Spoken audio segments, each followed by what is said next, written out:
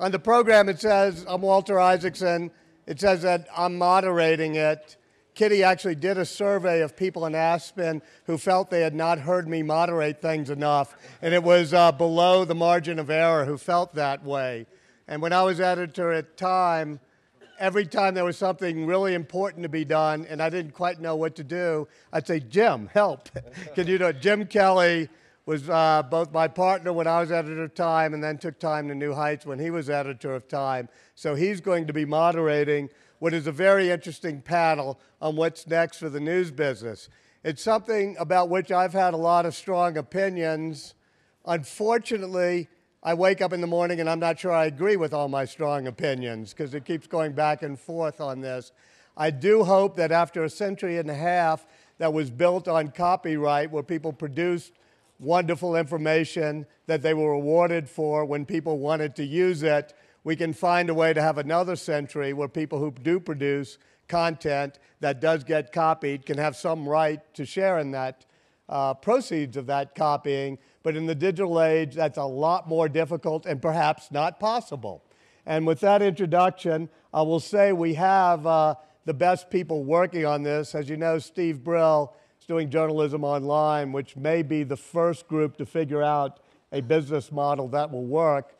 The secret that I told you about Jim Kelly doing everything that was difficult or important when I was at Time Magazine is not really a secret to Norm Pearlstine, who was the one who had then indeed made Jim the editor of Time when Norm got kind of tired of me doing that. And uh, Katharine Weymouth has, uh, the, is the publisher of the Washington Post, is wrestling with this quite a bit. And Michael Kinsley is somebody who I guess we shared a house in the late 1970s almost in Washington, so we go way back, but has written many articles on this and first tried the model of charging for Slate magazine and failed. So yeah. he's been there, done that. Right. Jim, all yours. Thank you, Walter. And let me say that uh, your charm has only increased since you left Time Inc. Um, we have exactly f- uh, 49 minutes to solve the problems besetting the uh, news business. So we're going to start right away. Walter's briefly introduced uh, the panelists. Their full bios are in the, in the uh, information you have. I'm going to start with uh, Katharine Weymouth and ask her, Katharine, how long can you afford to keep giving the post away for free to online readers? Um, I guess I would say for the foreseeable future, we are open to everything. I know Barry Diller, who's on our board, recently gave a speech in which he said content on the web is going to move to a paid model. It just has to, uh, which is most often the argument that I hear in favor of the paid model is, well, what choice do you have? It's not working. You've got to go paid. That's never been our business model, as probably a lot of you know already. 80% of our revenues have always been advertising, and 20% have been paid for by the subscriber. If we could charge online for our content, we would be delighted to. I think our concern is that it would alienate a large segment of the audience, as Michael can attest to. And I worry particularly about the demographics, about the younger kids who I poll sort of informally whenever I run into them, who, for whom it's just alien. So they, they'll pay for music online if they have to.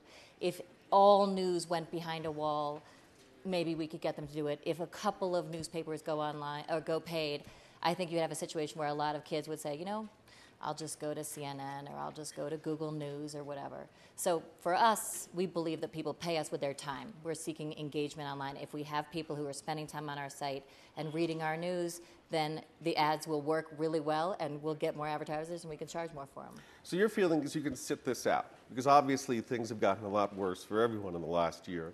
And looking forward, as you say, the foreseeable future, things don't look very much better. Is there any, have you studied, is there any kind of premium content, uh, you, a phrase that I'm sure you're familiar with, uh, that the Washington Post company can come up with and have people subscribe to that while they get most of the paper for free? We are absolutely not sitting anything out. I mean, we are moving aggressively away from being a newspaper organization to being a news organization. And just to give you one example, which I've used but I think it illustrates the point really well. When I took over, we had, for as long as I know, been organized around the sections of the newspaper a metro staff, a magazine staff, you know, the national staff, and they were all their own little fiefdoms. And a couple weeks into my tenure, I met with the feature section editors who said to me, Katharine, is there any, you know, what do you like, what do you not like? And I said, well, let me ask you a question. We had one section which was called Sunday Source, and it was designed for women and young people. And this was on Oscar Sunday. And the New York Times Sunday Style section had what I think women want to read Stylists to the Stars. You know, what do they wear, who dresses them? The front of our Sunday Source section was how to plan a funeral. and I said, to, after I dropped the section on the floor of my house, I, I mean, I said to them, What were you thinking? And they looked at me completely seriously and they said, First, well, we thought it was useful information. And I said, Well, okay, maybe just put it next to the obits. But then they said, second, and it was much more telling, they said, We thought we couldn't write about that because that's styles. So we've spent the last year, and my, I brought in a new editor that, from the Wall Street Journal. Um, no, no, no, no, no, no. The editor of the section is still there, but I mean an overall editor from the Wall Street Journal who came in and in March sort of blew up the newsroom and reorganized it not around sections of the newspaper, but around topics. So, you know, there's national security, there's health, there's education, there's science, and then we have a universal editing desk where you will have editors who will edit it for the web, for mobile, for the newspaper, because we know they're all very different experiences, and I think that's been our mistake, is to assume that they're all just fungible. Now, Norm, you now work at what is, I think, is the most successful paid journalism model there is on the web, and that's Bloomberg. Well, it's, it's a paid content model for um, very deep uh, data analytics and news. I don't think it's a model that can be replicated for general um, information at all. We have close to 300,000 people who pay about $20,000 a year to subscribe to the Bloomberg terminal, and the margins on that, that business are very good, but it's, it's a very narrow slice of even the business um, audience, not to mention a general audience. But is there anything that you've learned at Bloomberg in the last year and a half or so that, that if you had to do things differently at, say, Time Inc., or if you were at the Wall Street Journal still today, that you would apply those lessons to? No. Um, I think I think Bloomberg is I think Bloomberg is um, really unique. I think that as as much as we spend on editorial, it's a small percentage of our revenues and of our overall expenses, and so uh, having um, a large business that is really um, uh, based on a great deal of other factors is, is helpful, just as being the Washington Post company and having a big education subsidiary allows you to do things you might not otherwise be able to do, uh, distinguishes you from other media companies. Um, I'm personally uh, think that for general information, it's extremely difficult to come up with a charging model because most of the people who are online did not grow up reading newspapers, but grew up watching television where information was something that was advertiser supported. And even if they were paying for their cable bill, that was a bundled um, that was a bundled fee, and there was nobody who was saying how much am I paying for CNBC or for CNN or for Entertainment Tonight. So you don't think people would pay for the convenience of getting certain kinds of information uh, on a mobile device, for example? They might, but not enough of them to support the kinds of news organizations that are now existing. And I think, I think the two things that people really have to, to look at who, who are now uh, providing general information is, is a much more aggressive look at the cost structure to recognize that so much information is ubiquitous and available at a very much lower cost than the news organizations that we've all built and love having around.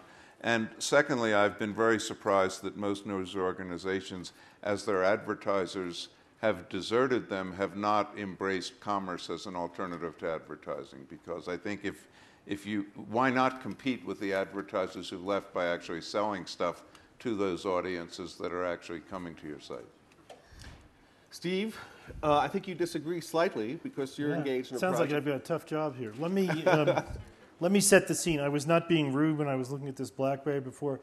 Literally four minutes before we sat down, I got an email from uh, someone who had been one of my students at Yale in 2007, uh, where several years ago we had established um, a program for people who wanted to go into journalism. And it's worked pretty well, unfortunately. Re- uh, here's what she said I was at the Sentinel, the Orlando Sentinel, um, until about two months ago, mainly covering crime. Um, at times it was exhilarating, at times it was highly unpleasant. I learned a lot, mainly about criminal law. But then I had a front row seat at the collapse of a major newspaper, which was sad but also kind of interesting from an anthropological standpoint. And I think a lot of the publishers' reactions to this are interesting from an anthropological standpoint, too. And then I got laid off in April. It sucked, and I'm still sad, but I think it was probably the best thing that could have happened to me. There weren't any opportunities for advancement at the paper, to say nothing of the industry, and I was becoming increasingly disenchanted with the content model the Sentinel was moving towards sensational and short. She's emailing me because she wants me to write her recommendations to go to law school. That's the world we are in. The second aspect, I'll just give you some snapshots of the world we are in. The only newspapers in the United States or around the world that have seen their circulation increase in the last year are newspapers that charge for their online content. This is a debate about news organizations, as Katharine has so well put it, and that debate is about whether you undermine the value of your print product when you insist on giving it away for free to the next generation. I think you do. I think all the evidence out there is that you do. This is not a debate about putting a paywall down and suddenly everybody who is getting the paper online stops getting it unless they pay. This is a model, at least the model that we are suggesting, involves taking your most avid online visitors and getting from 10% of those online visitors, maybe 5%, maybe 12%, some slice of a payment for some portion of content. Um, what the price is, what the portion is, what the slices are, whether you sample three articles before you charge, or 10 articles, or five, um, is up to the publishers. What we're trying to do is equip the publishers to have the freedom and the ability to redeem the value of their journalism by charging whatever they want across one common password that our hundreds and we hope thousands of um, affiliates will have in common. If it doesn't happen, what I submit to you is not so much that the online model won't work, because it won't, but the print model is going to go away because people are moving from print to online to get their news. Now, um, the issue really is the viability of, of news gathering organizations, and I'm here to tell you the advertising model has never worked. I'll challenge everybody under this tent to name the large scale journalism organization that has ever been able to exist on advertising revenue alone. The 20%, that's a significant 20% because it's 20% and because it redeems the value, it provides value, it yields higher CPMs for advertisers, too, by the way. But anyone who thinks that the advertising model alone can work in a world where instead of uh, the broadcast network situation, which, by the way, the news uh, divisions there still typically didn't make money when there were three of them splitting 92% of the country's eyeballs, to take that broadcast model and say that it's going to work among a trillion websites is just a non starter. Advertising revenue online will be significant. It will never be the panacea that everybody thought it was. And we're all seeing that today. The CPMs for advertising today online are in some places 10% of what they were a year ago. In some places, they're 25%. Some places, a little more. The, the traditional journalism model has always been that there are two sources of revenue. Now, the one person who thought of this too early is my friend sitting over there, Mr. Kinsley, who is by far the smartest person in the room when it comes to this, which is why I, I shudder at the fact that he's about to disagree with me violently. I feel but- I'm being set up. But Michael, yeah, well, let me just continue the setup for a half a second. Um, uh, Michael's only uh, mistake, and it wasn't a mistake, was that he tried this too early, before people were used to paying for content online. People are used to paying for content online. Ask Jeff Bezos. if you don't believe me. Um, and that is the mistake he made with Slate. And again, Slate is not a giant, large news gathering organization, but Slate is a significant news gathering organization, but it feeds off of and uses a lot of other news gathering organizations. The issue here, whether it's the Orlando Sentinel or the Washington Post or the New York Times, there's been a lot of discussion today about this and a lot of smugness about the old media, the old style newspapers, how people have to learn to write to get to the point. Well, if you open up the Washington Post every day, it is a daily miracle of terrific journalism. And that takes money. It also takes, thank God, the dedication of, of uh, the family that has a commitment to it. But for that model to be sustained over the years, it has always relied on two forms of revenue. And I submit to you that it has to continue to rely on that. On that note, Michael, are you are you really that smart? Um, no, I was I was spectacularly stupid about this when I when we started Slate. I not only wanted to charge, I wanted to charge as a matter of principle. I thought that it was an insult to the writers that, that people would expect to get this stuff for free. And uh, we tried charging. We charged $19, which seemed like a great bargain compared to Time and Newsweek and all the others. And at the end of 11 months, we had 30,000 um, paid subscribers, which didn't even seem that terrible to me. You know, the New Republic and all those magazines are in that area. But, um, you know, meanwhile, we had a little front porch where we had 400,000, which in those days was a huge number. So it became evident that we could do better by selling ads to those people who, who, who were coming to the site rather than, rather than trying to sell subscriptions. And I'm just curious, Steve, what is your theory about why the ad revenue has dried up? Well, it's, it's pretty simple. If I started a fashion magazine today, I'd go to Ralph Lauren and maybe some of the other people in this audience. I'd say, buy ads in my fashion magazine. They'd say, oh, well, there are three others, but yours looks pretty good. Sounds like a deal. What if two people started fashion magazines the next day, and four the day after, and six the day after that? There is infinite inventory online. There is an infinite supply. Now, some of it is worth more than others, but it is that infinite, unending, escalating supply of inventory. Plus, you know, you know, the worst thing happened is it's accountable. Well, right. It's accountable. If I buy an ad on page 11 of Newsweek, the only thing I know is I put my ad for Scotch on page 11 of Newsweek, I, and I know what Newsweek's you know, current circulation is. I have no idea how many people read page 11. I have no idea how many people decided you know, to go buy some scotch because they read page 11. The opposite is true online.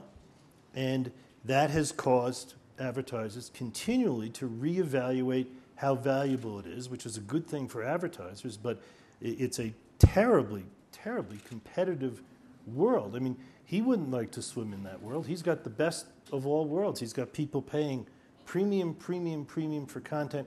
It's obviously you can't apply the Bloomberg model anywhere, but you might be able to apply the lesson, which is the oldest lesson in the world for quality media, which is people are willing to pay something for it. That makes advertisers happier. It's a way to get higher CPMs for your advertising when people are paying for it. And it creates a revenue stream that, yeah, the newsroom sort of likes that revenue stream because suddenly uh, they're making their way in the world on the basis of the stuff they're producing, not simply on how good their ad salespeople Well, are. in fact, as I understand it, um, the fa- getting advertisers is the only reason why magazines, for example, charge. That typically what their subscriptions bring in doesn't even cover the cost of acquiring them, let alone actually delivering the It depends on the product. magazine. Well, Frankly, I mean, it's Yes, People, Well, Ma- People Ma- but- People magazine makes a lot of money off Yeah, its People subscription. magazine. Look at the only successful magazine models out there today. The Economist. I think they well, all would right, beg that, to differ that's, with you. that's, that's a special People case. magazine is a is another prime But there example. are control circulation magazines that are also are profitable. And there are websites that do make money with advertising. Um, they, they aren't in the US, but Spiegel Online, with an editorial staff of 110, is profitable uh, with an advertising and commerce model. Bild uh, is profitable with an advertising and commerce model, spectacularly profitable with Norm, are margins. they, are they really profitable with honest accounting for the Absolutely, costs? absolutely. Spiegel, also- Spiegel's staff is totally separate from the magazine. They have nothing in common with each other. It's a standalone business. They're also on record now as saying that they're considering having some of their content be paid. Again, Michael, your model, uh, you know, uh, the original model you did was uh, you paid, you got it. You didn't pay, you don't get it. That is not the kind Well, of how I- sophisticated hybrid model that the Journal has, for example, that FT has, that all the affiliates we're talking to have. It is not an either or proposition. Well, with business publications, you can clearly identify content that is of an of a type that there's always been an audience that's been willing to pay a premium for. I think you may be able to find with um, local in certain areas that there will be people who will be- willing to pay. I don't think you can blanket say no one will ever pay for anything. Um, uh, I think that local sports, for instance, in a mobile setting, may very well be an area of paid. But I think that those are going to be small revenue areas that are not going to pay for the kinds of news organizations that we're now talking about. And I just think it's going to be awfully tough to condition people who grew up not paying co- for content to the idea that they should. I mean, this is not about keeping audiences who have been paying and who are who are giving up the habit. You're really trying to teach people to do Well, some new things. Well, let's, be, let's let me interrupt for a second. Let's do some role playing here. Steve, you have just been named the publisher of the Washington Post. Yeah. What would you do differently than Katharine? I'm not sure I'd do anything different. from what I know from various discussions, they are completely open-minded about all these alternatives, and, and I think that is exactly where the Washington Post and everybody needs to be. And let me stress, the, the alternatives, again, are not either or. For example, there is a very large newspaper in the UK that has been talking to us that it turns out, like most newspapers in the UK, has a tremendous percentage of their regular, like daily online visitors are from outside the UK, in fact, in the US. These are people who obviously want to read this paper. Maybe there are people who grew up in uh, New Orleans and now live in Aspen and want to read uh, the Times Picayune. Okay? So you could do it. One model, one of the different tricks you could try is you charge on the basis of whether people are in market or out of market. Another model might be you group together a bundle um, that is you know, everything Washington Redskins or everything, uh, you know, Boston Red Sox, and you charge for that. There are lots of different ways to do this. There are people about to experiment with lots of different ways. My simple answer is there isn't really an alternative. Advertising is not going to be that alternative. Now, I'm not saying that every newsroom has to be the same size it is, but I Norm? thi- Yeah. Well, I think it's. I think one thing is that um, it's clear that the existing models for a lot of media companies are broken, and it's going to be very tough to to resurrect those. I think it's equally clear that it's really early days to be talking about what models will and won't work. I mean, if we were sitting here 10 years ago, America Online would have 50% of the online traffic, and we would be talking about companies like InfoSeek and Lycos and Prodigy and Genesis um, and uh, Alta Vista, and uh, none of them are around today. Yahoo would be perhaps the one exception, um, and it's unclear what that business will be five years from now. So um, it is worth taking a look at the kinds of things that Amazon is doing, that Plastic Logic is doing, that Kindle is doing, and, and wondering if you have, you know, what the future for display advertising will be when you have readers that actually give you easy access to those kinds of ads, whether the, the, the CPMs that we're looking at now, um, you know, may be a function of the ways in which you can access content. So I'd, I'd say that it's, it's very hard sitting up here now to say that there's no model that won't work. Um, for any of these things. And I think that's why you have to be agnostic and try everything. Yes, Michael? Steve, if all you're saying is what Norm just said, that we ought to try everything, I think everyone in this whole Well, I'm- room I'm would saying a agree little to bit that. more than that. Well, yes, but so that the question then is why do you foreclose part of everything? Why shouldn't Oh, why shouldn't why shouldn't the free model work for some the, things? the only pay- thing I foreclose is the uh, are, are those who say one of two things that the toothpaste is out of the tube, we can't do anything, and then their sub point to that is, besides, who cares? Let's just rely on the wisdom of crowds. That's the only thing I oppose. I think, you know, the nonprofit model ought to be tried, and I hope it succeeds. I think anyone who can improve the return on advertising revenue, God bless them. Everybody ought to do it. I do think there is a benefit in newspaper publishers and magazine publishers getting together, which is what we're trying to do, to right the balance of power. And the best example is Amazon, which Norm mentioned. Just think about the Amazon model for a second. Right now, Amazon um, you know, makes a deal with a newspaper like the Washington Post that says, This is your lucky day. Um, you can have people sign up for a subscription to the Washington Post. What is it, five ninety nine a month, six ninety nine a month, whatever it is, nine ninety nine a month. Great news. A small number of people are signing up. And then Amazon says it's even a luckier day than that because we're going to give you 30% of the revenue that we get from that. And we're not going to tell you who the customer is. So basically, what they're doing to the, trying to do to the newspaper industry is what Apple successfully did to the music industry, which is, yeah, we're going to get people to buy this stuff. It's just we're going to control the customer. Now, that is the equivalent of Howard Stringer saying to HBO, because your people watch HBO on a Sony television, I deserve 70% of the revenue, and I deserve that relationship with the customer. But doesn't he It go for even further than that? Amazon retains the right to put that material in other electronic forms? I don't even know. I mean, that it, it, could. I mean, that would just add to Right. know, the obvious atrocity of the relationship. but, but it is it, it, it, it bespeaks the sort of the hangdog situation that the industry is in.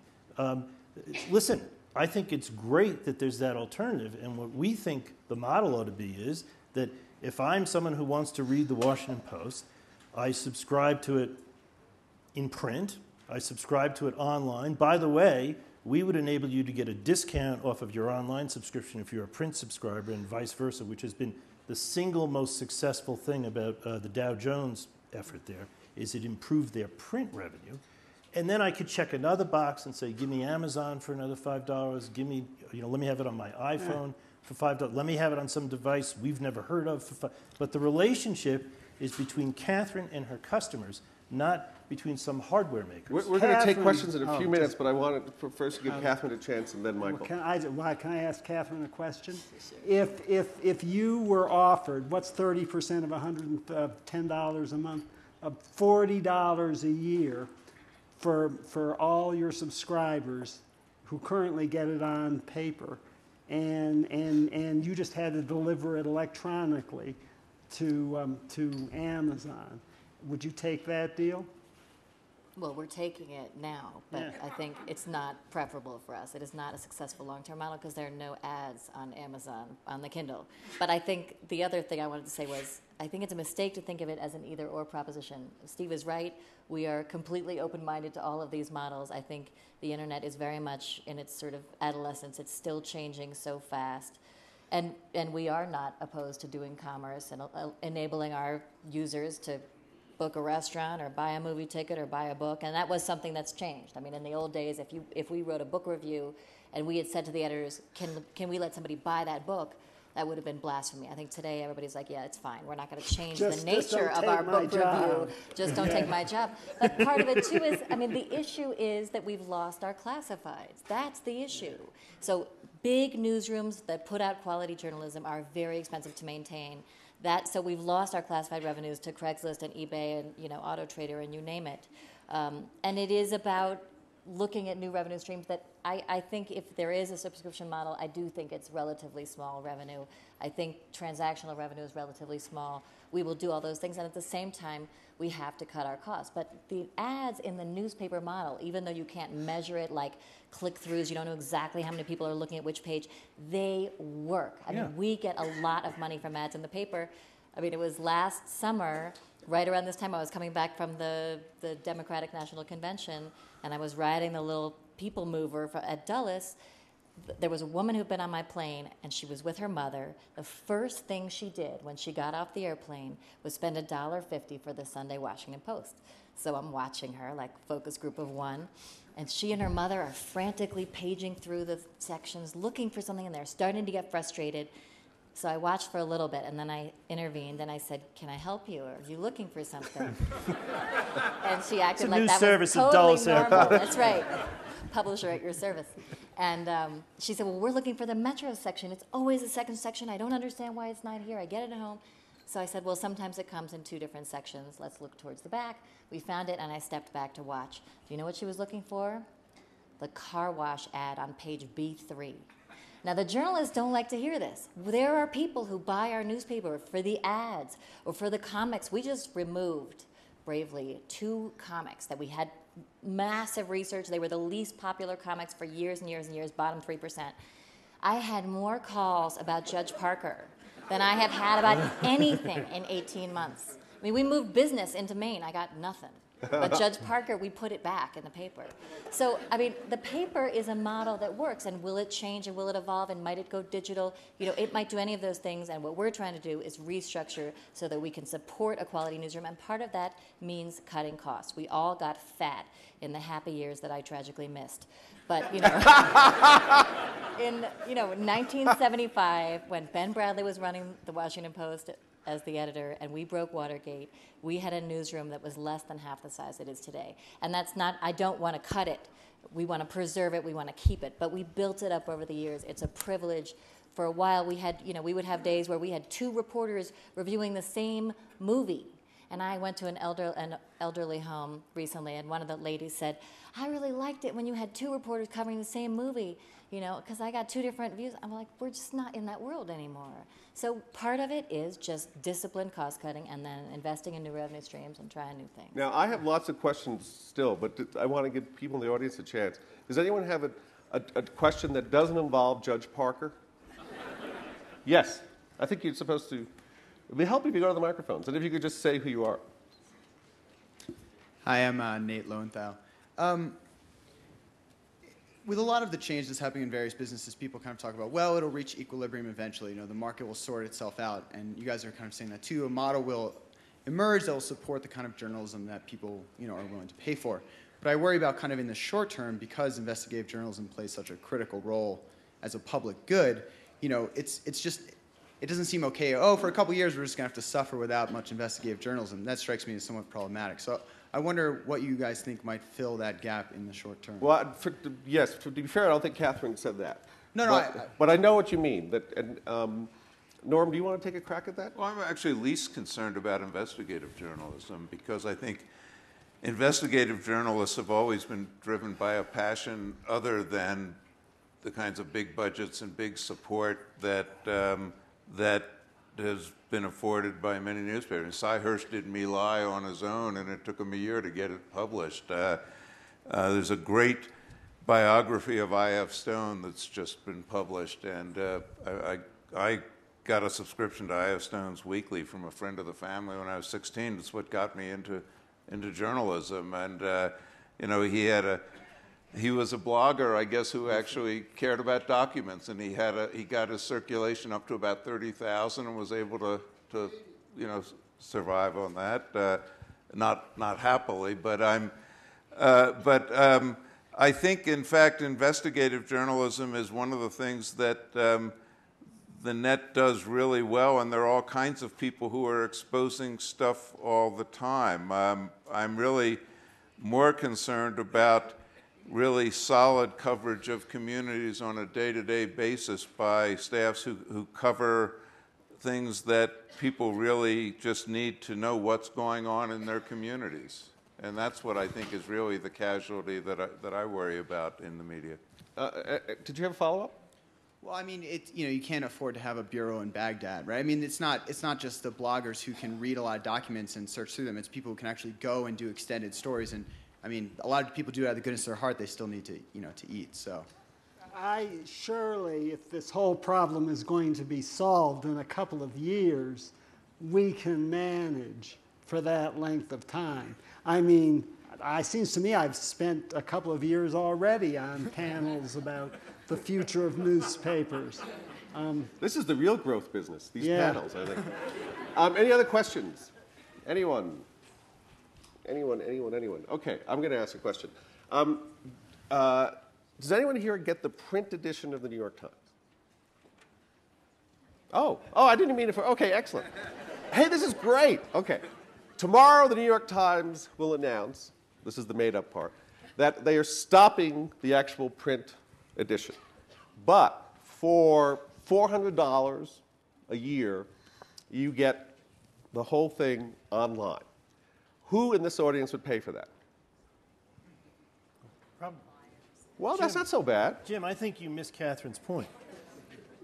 Your point was uh, is the revenue today is in print. The revenue is going to transist maybe over three, five, ten years to, but you'd have to be a, a fool to do that. It might be, and certainly I'm not suggesting that. It might be that in two years you would decide not to print the least profitable daily edition, Tuesday or Thursday or whatever it is. My proposition to you is the only way that's possible is if you sign up your loyal readers as electronic customers. And then you can proceed with the transition, however that transition is going to work out. But if you own the print franchise and Amazon owns one little piece of the electronic franchise and you're giving it away online, that's another piece, and iPhones have another piece, that is not, I submit, the way to prepare for that kind of a transition. But do And you that's the think that mistake 10 years from now, when we're on this panel, Yeah. 10 years from now, that there will be a print edition of the New York Times? I think her job is to hedge against all of those possibilities and to be as open minded as she is about all of those possibilities because I think what she's got to worry about, what the New York Times has to worry about, what the, you know, you know, what the local newspaper in, you know, in Wilmington, Delaware has to worry about is do I have a relationship with my customers? Do they think, both in terms of advertising and the journalism, that I'm giving them something that's worthwhile, that is branded, that is unique enough so that they'll keep uh, buying it? I was being interviewed by a, a reporter from uh, Newsweek a couple of weeks ago. You're going to love this. Um, and it was a young reporter for the online edition of Newsweek, and she says, What makes you think anyone's going to pay for content? And I said, Well, it may surprise you to know that I, I think about a million eight hundred thousand people actually this week went and paid for your magazine. And she said, They did? well, that's the. I mean, we, that's what we're up against here. But the way to get that transition is to start them, uh, is to just do everything you do should be to emphasize the value of your content, even if you're just charging a dollar, two dollars. I think there's significant revenue to be made online, but the more significant upside revenue of going to an online, uh, the hybrid model, is in uh, the revenue for print. It'll enhance your print revenue. So, It's happened at every newspaper now- that's done it. 10 years from now, will there be a New York Times and Washington Post on paper? I, I, if you asked me to guess, I'd Yeah. say it would not shock me to see that they print the Sunday edition only, but that they have customers who are getting their Washington Post or their New York Times the way they want it, however they've chosen that they want it, on some device that we've never heard of, on Kindle, online, who knows? But if you if you if you're the steward of that franchise, what you have to be open-minded about is making sure that however they want it, I'm going to be the person uh, the person responsible for delivering it to them, for employing really good journalists so that I keep what's special about what I do, and whether it's delivered in print or not. You know, uh, the woman that you helped um, at Dulles Airport, the question I think you're asking yourself is, well, how am I going to help her daughter? How's she going to get? Is she going to, you know, be tearing through the Sunday edition of the paper looking for that? How am I going to keep that customer? But I think part of what it gets at, I think people make a mistake when they think that they're completely fungible. The newspaper and the web, they're completely different experiences, and we all know that, I think, in the way that we use them. The average reader of the Washington Post, and this is just us, not other newspapers, spends 40 minutes a day with the daily newspaper and almost 60 minutes on Sunday. And online, it's much shorter, right? People, I remember I was talking to a student of um, Al Hunt's class at, for Bloomberg, and I asked the kids, so how, tell me how you get your news. These are all journalist students, so presumably they're interested in news. And one woman just completely, to me, gave it away. She said, well, in the morning I, I wake up and and I glimpse at my headlines on my iPhone, right? It's glimpse. I mean, I think people use their mobile phone for headlines. They go online, they, they scatter around, they go to aggregated sites, they jump into an article, they jump out. I think they're different experiences. Will the technology evolve? It is evolving so fast, and it's amazing. It's not just Kindle, it's, you know, the Hearst FirstPaper, it's all of these entities out there. And so something might well come along that replicates what newspapers do well. And I think that's what at least I hope as a somebody who cares about news that something like that will come along, but it may not be the printed product. Um, it sounds to me like this woman spent her entire 60 minutes trying to find the metro section. and and that, that's one of the things. That's not one thing we do well. No, right, the, well, it's one of the. Error. Oh, yes, yes. Sir, Let me start would with you mind identifying yourself? Stan Kritzik from Milwaukee, Wisconsin. Let me start with a very brief story and then I'll ask the question. Um, I am the world's smallest shareholder in Berkshire Hathaway, just to set the level. but my wife and I go to the meeting, uh, annual meeting every year because uh, she used to live there. And Warren Buffett's sidekick is a character named Charlie Munger who's in his 80s. So the question was asked of Warren Buffett You own the Buffalo whatever, and it's losing money. Are you going to get rid of it? He said, No, I'm going to keep it uh, because we don't get rid of our losers. We give them a chance. And then he said, Charlie, you have anything to add? And Charlie said, Yeah. If the internet had been invented first and someone had, from their office had come to us and said, we have an idea to start chopping down trees, turning it into paper, putting ink on it, wrapping it up in bundles, throwing it into trucks, taking it out in the snow, and throwing it out on the sidewalk. He said, We'd think they were crazy. So here's my question Washington Post, if you were online first, would you go into the print business? I think at this juncture we would because it's incredibly valuable to be able to reach people in their homes. And we know our research shows they spend significant amount of time with our product. We have over a million readers for the daily printed product and over 2 million on Sunday. And on the web, we have 10 million unique, 10 million unique visitors. And it's great and it's growing by leaps and bounds. But at The least online at this, part. sorry, The online part's growing. Yes. Um, but print is still very, very strong, and as Steve said, it has the bulk of the revenue. So it may be that you're navigating this bridge where there is a point in time at which the print is, has the bulk of the revenue, and over time, the next generation may not want to print a product. In which case, certainly, it does seem arcane to be doing this, you know, driving down streets and throwing papers out there. But it's still very valuable, and the advertisers want to reach the eyeballs, and people engage with their newspapers. They care about them. That's why they care about Judge Parker. They really care what's inside, and maybe they're going for the crossword puzzle, or maybe they're going for a story about Baghdad, but they're engaged with the content. Let me change the question slightly a little bit. Um, Norm, Bloomberg was first online. Would you start a Bloomberg newspaper today? Let's just talk about the Bloomberg magazine. Yeah. We do have a magazine. We have a magazine that's control circulation, um, and uh, we have a syndicated content um, business where we try to get our stories into, picked up by newspapers because it's um, we we love to see them read in newspapers, um, and I I think it would, but you know we have one shareholder and. Uh, he so far has not expressed much interest in wanting to own a newspaper. But there's another good example, which is Politico. The political site started online, and then they started a newspaper, and they're making money in their newspaper. Oh, I, I didn't think realize. we- It has an impact, Oh, you that's know. interesting. People sometimes they say, "I want to get something published in the Washington Post." We say, "Well, how about we'll put it online?" They're like, "No, no, I want to be in the printed edition. It has an impact." I thought it was very interesting that you chose to um, to run that lengthy murder story only online.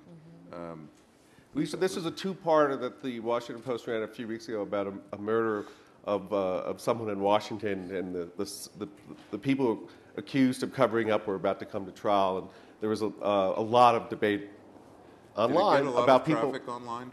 It got a fair amount of traffic online. We also got a lot of reader anger that it wasn't in the paper. And I think what we learned from that experience is our readers don't like being forced to go online. They want to be able to choose. We did the opposite with Chandra Levy, the summer intern who was killed in Washington. We published a 13 part series in the paper, and we got a lot of grief for that. So I think, you know, we're all learning and experimenting. Wait, was it, it was online also? That was both. Right. So online what, and what, in what did they give you grief about? Well, they thought There it was was 13 sort of parts. too long. and Yes. that they spent Too too much much, about a story that had already too been much written time a lot in the print about. edition on this. So, anyway. Um, uh, uh, Jeff Jarvis? I'm I Jeff think? Jarvis. Okay. Um, I'm running a project at the City University of New York Graduate School of Journalism, uh, funded by uh, Knight and McCormick, and we're coming back here in August. Lucky me, um, to try to present fleshed out business models for the future of news in a metro market. And I'm filled right now with factoids uh, uh, uh, like this, you know, little tweets. Uh, one is that Russ Stanton, the editor of the LA Times, said last December that the online revenue of the LA Times.com advertising revenue was sufficient now to cover the payroll of LA Times print and online. That's a glimmer of an LED at the end of the tunnel, I think, that says there's a the vision of uh, a sustainable news organization from online revenue. And there's lots of caveats, I know, but let me keep going one more. Uh, the, to, to Norm's point earlier, the Telegraph in London last year made a third of its profit, granted other profits were changing, but from e-commerce. The Telegraph is the leading retailer of hangers to people in the UK. Hangers. My theory is that conservatives like to hang their clothes neatly. The Guardian readers, my friend, just put their jeans on the floor and it's fine. I, I think, though, that the, that the discussion has been filled with too many anecdotes like that, too many one-liners, too many lines about revenue lines, and not about the P&L. And, we, and, and you've made the point about, about judicious cost cutting, but I also think that the perspective to look at this from may be that of the startup, who doesn't have the legacy to worry about and can ask that question you were just asked, Katharine, afresh. And, uh, and, and because you know what's happening. You got Craigslisted, newspapers did, by Craigslist in classifieds. I was talking to a major retailer last week whose main concern about newspapers' health is only the distribution of their circulars. And it's not hard for me to imagine Murdoch coming along and taking the coupons and the circulators, circulars and Craigslisting us on distribution. And it's also not hard to imagine someone coming along, young person or old, but a bunch of people, and they can Craigslist the newspaper on editorial too, because they don't have these huge structures and they can build it differently. And that's what's happening. And I think we have to look at this discussion from a zero base up, because the other industries are, everybody else in this world is, and we've got to rethink the news business based on the new realities of media, the new realities of this economy, the new realities of competition, the new opportunities online to do things collaboratively and efficiently in new ways. The discussion too much is about, well, we used to have this in the old world, so let's see if we can't move it over to the new world. It's a new world. We have to rethink it from scratch. So it's not a question, Well, it's just a diatribe, but I'll. I- Gustav? Uh, let's start with Steve. Other than the obvious response would be, "What's your question?" Um, the um, It's like a blog, Steve. Discuss. I, y- you know, I, I've heard you give that speech before, and since I'm not, I don't have to be on the defensive about this because I'm not a newspaper publisher or an editor, but I will tell you that the idea that you don't think that, you know, uh, when Marcus gets brought into the Washington Post, or when Bill Keller and Jill are looking at, you know, what's going on at the New York Times, the idea that you don't think that they are looking hard at every single cost and you think they're just living in this old world and they're not start you know it's nice phrase ground up you know you know you know zero cost whatever your other phrases are but i think every newspaper is doing that and i don't think that's the answer. I think it's great that newspapers aren't wasting money and they shouldn't waste money but you can squeeze all those costs out but the simple fact is when you take a story i'll just take one that the times did the other day i think it was the times about how um, the loan repayment plan uh, that President Obama put in place to sort of ease the mortgage crisis for people, how it's not working and it's caught up in red tape. That takes a lot of a lot of feet on the ground, a lot of work. We need that stuff. We need that stuff in every community. And you know, just giving a speech about how it's a new day and they have to start fresh is not very helpful. Uh, Norm? Well, if you need that stuff, that's, that's, that's not an argument for a business model. That's an argument for subsidized content. That's an argument for, for, for rich people who want to have foundations and could, or who couldn't get a football team. Uh, that's, um, that's an argument for all kinds of things, but it's not an argument for a business. I think that stuff's good for business. I think the quality of the Washington Post is the best business model the Washington Post can ever have. Uh, well, that's, that's, that's the altruism that is the flip of what Jeff was just saying that you were so critical of. Katharine? Yeah, I mean, I think from my standpoint, there's sort of two different angles. I mean, one is the business side, the business model, and I would say on that score, nothing is off the table. We are willing to look at everything we do every day. We constantly ask ourselves, if we were starting tomorrow, what would we do? do does it make sense to drive down streets? Should we? We are not wed. There's no sense of we have to be wed to our traditions at all. Um, and the journalists we have in the newsroom are excited about the new technology. We're not having to drag anybody into the internet. But I think part of the mistake that I hear a lot when I hear people talking is this sense of old traditional media and new media. And in my view, it's journalism with new tools. And what we are doing is taking what we believe is our you know, first-rate, amazing journalists and editors and simply taking advantage of the new tools and, and learning along the way. We're learning how do people use modal? How do we use Twitter? How do we use Facebook? How do we do these effectively? How do we reach people in ways that they want to get their news? And so, you know, and we, we know the model in print, so that's an easy one for us to do. And, and that's changing. But I don't think I mean, there is no sense of, oh, you know, well, I mean, I made a crack about how I wasn't there in the days we were making a lot of money, but that's just a crack, you know. Michael? you- Well, Oh, sorry, Norm. Well, I was just, just to follow up on that, um, I think it is going to be a very important question going forward about where and how you do um, long-form journalism that that is in the public interest and how you disseminate it and whether you can come up with a charging model for it. Um, I, I think it was la- not. I think it was 2007 when Rick Atkinson did his four-part series on IEDs that ran about 17,000 words in the paper, and I'm guessing less than one half of one percent of, of the print audience for the Washington Post read through that. Um, uh, could that have been put into a book that was put online, and could you have found globally 30,000 people who would pay a few bucks for that? I, probably. And I think that's the kind of choices that we're going to have to be making going forward because, in fact, what the technology does allow is there is a global audience for the Washington Post and for that kind of public service journalism. And that, that's, I think, what you were trying to get at with your two part series on the murderers. Is there another way we can tell this story that may make more sense than the way we've traditionally done it? I think that's fair. Now, Michael, since you were a prophet before your time, PH, not obviously F, um, you get the last word. Great. Um, and I'm, I'm going to end on a Pollyannish note. Suppose back when Katharine was practicing law and escaping the horror to come, someone had come to her and said, You know, in very few years, the Washington Post will be able to print itself and distribute itself for free and that will be true not just inside the Beltway, but all around the world. I don't think Katharine would have said, Oh my God, that's a disaster. So that, you know, that it's basically a good thing. And we ought to celebrate it. On that note, thank you. Thank you very much.